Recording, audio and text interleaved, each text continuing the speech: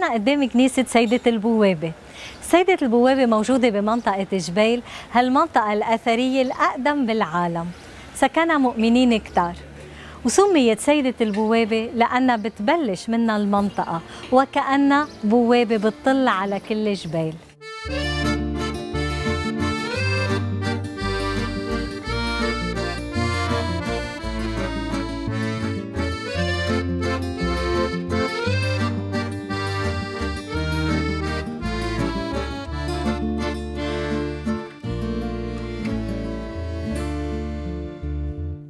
سيدة البوابة يلي موجودة هون بمنطقة جبيل وجبيل يلي معناها حلو كتير. جب يعني بيت وإيل يعني الله. وصارت جبيل بيت الله. وما في أجمل من أمنا مريم العذراء تكون هي بوابة بيت الله. كتار منا بيمرقوا بهالمنطقة وما بينتبهوا إنه في كنيسة صغيرة كنيسة حلوة كتير. لأنه جبيل حلوة فيها شوارع أثرية فيها أماكن تجارية ومحلات فيها أثار وتراث لبناني. ولكن دايما يلي بينتبهوا بيطلع يمين وشمال بيلاقي إنه بجبال في كنايس وخاصة بهالمنطقة. سيدة البوابة بتلفت له نظره وبتعيط لكل إنسان بيمرق من حدها.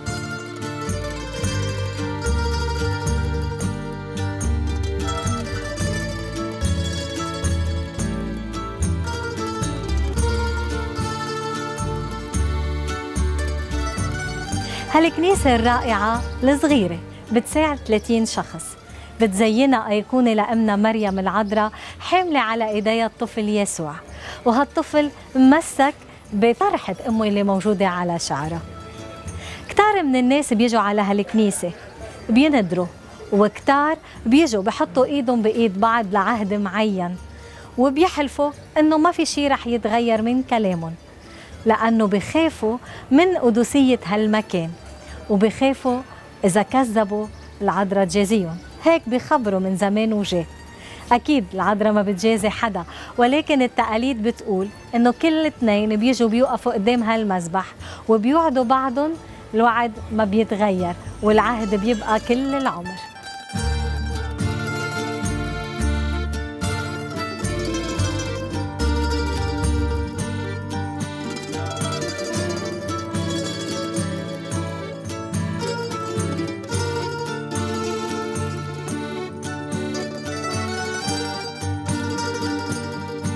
سميت سيدة البوابة لسبب كتير كتير كتير مهم بالنسبة لتاريخ جبيل كل الناس بتعرف إنه خلال الحكم العثماني آه، مدينة جبيل كانت بقيادة شخص اسمه عيد آغا بفترة زمنية معينة وحول كنيسة ماري يوحنا مرقص إلى أسطبل هو وجماعته.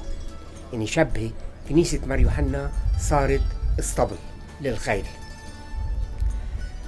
ما قدروا طاقوا أهل جبال القصة كلها سوا ولا الرهبنة. في بجبال كان الشيخ سعد الخوري. وكان في عنا بالرهبنة آه، رئيس العام اللي اسمه عمنائيل الرشماني.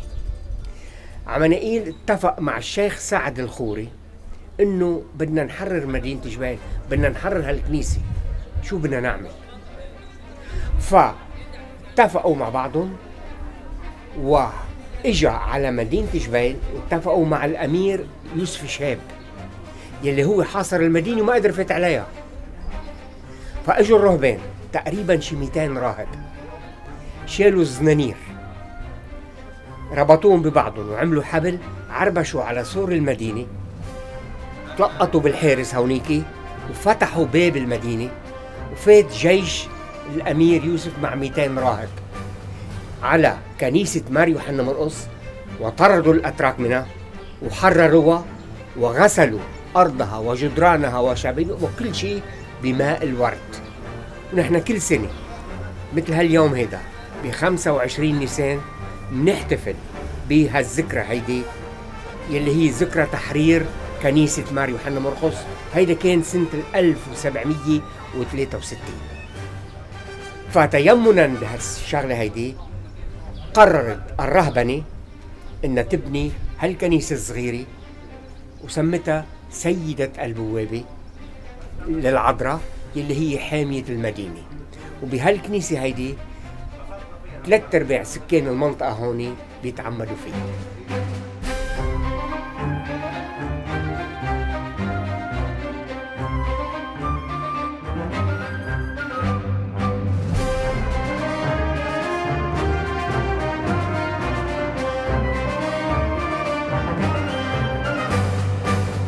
بالإجمال عيد العذراء معروف. بس بالنسبة لسيدة البوابة هو ذات العيد اللي بنحتفل فيه نحن بتحرير كنيسة مار يوحنا مرقس لأنه بعد التح... بعد تحرير كنيسة مار يوحنا مرقس تعمرت هالكنيسة هيدي. إيه صار في عجيب؟ في واحد بالزمانات بخبرونا إنه شال الرمح تبعه إجا بده يطعن العذراء صورة العذراء فيه. الظاهر إنه هالرمح صاب عينه نقلعت عينه ومات ما بظن ما في حدا بحب سيدة البوابة بجبال يلي هي شفيعة الكل وشفيعة الحي وكلنا بنطلب منها. و... ومية بالمية طلبات أهل جبال تستجاب من كنيسة سيدة البوابة حارسة مدينة جبيل ضمن الأسوار الصليبية.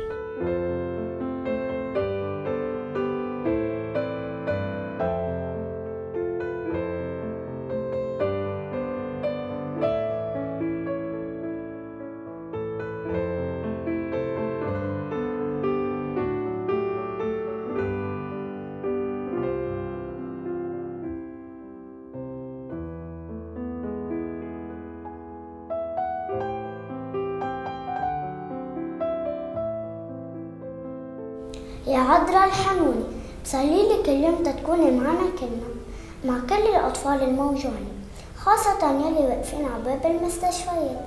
على نية كل الناس يلي مسكرة باب الدنيا بوجهنا. يا أم يسوع الحلوة خلي نور وجهك يغمرنا حياتنا. ساعدينا ورفقينا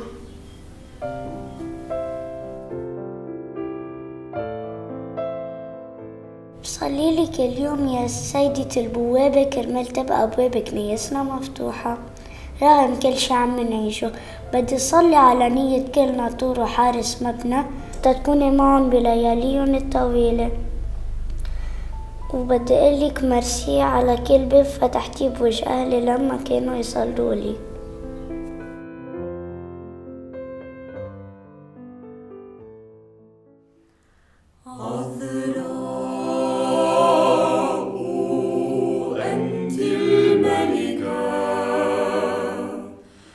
أنت الحب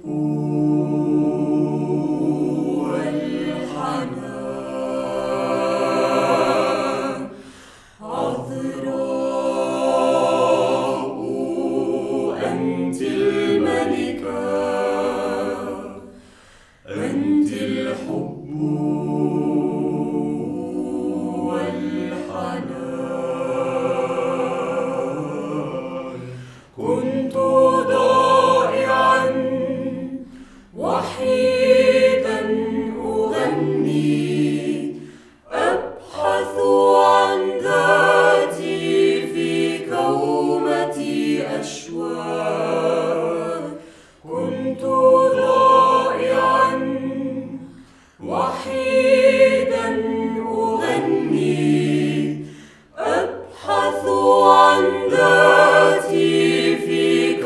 Amen.